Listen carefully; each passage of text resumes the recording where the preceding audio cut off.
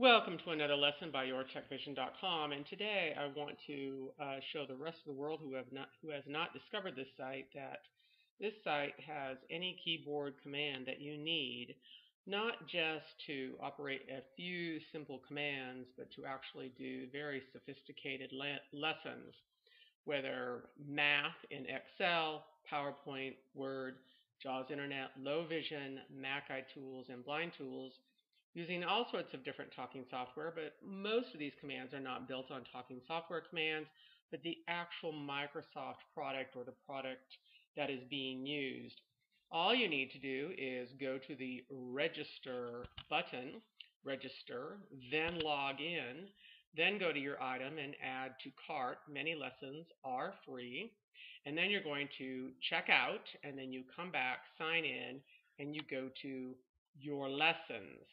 Now, if you cannot find a lesson that you desperately need, go to the contact page, and those are all links that I'm talking about. You can go ahead and just contact me, and I will write up a lesson for you. So these are all the different types of keyboard commands and keystrokes that will enable you to move around your computer incredibly fast. And of course, any program that you happen to be using. Okay, come on board and check it out.